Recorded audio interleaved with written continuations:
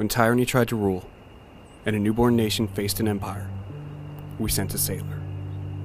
When a battle for human rights tore families apart and brothers fought each other, we sent a sailor. When an empire rose to try and take over the world, we sent a sailor. And when they tried again, we sent a sailor again.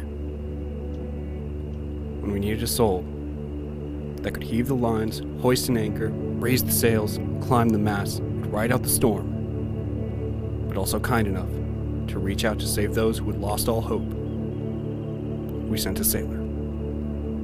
When the hurricanes breached, and the tsunamis rose, and the levees broke, those from around the world lost everything. We sent a sailor. When enemies of freedom attacked without warning, taking our family and friends, and attempting to break the will of a nation, we sent a sailor. When we needed somebody who could cross the mountains, the oceans, and the sky, and to never quit, to reach out like a whisper in the dark, to bring justice to those that hurt our nation, we sent a sailor.